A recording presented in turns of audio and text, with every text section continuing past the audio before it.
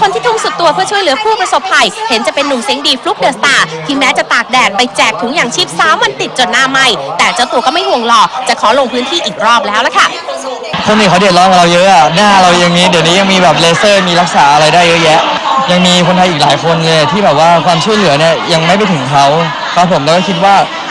คนไทยทุกคนเนี่ยถ้ายังสามารถช่วยคนอื่นได้อยู่ภัยยังไม่ยังไม่มาถึงตัว เราก็ควรจะช่วย นี้ก็ต้องขอชื่นชมและขอปรบมือดัง ๆ ให้กับหนุ่มฟลุกเลยละค่ะ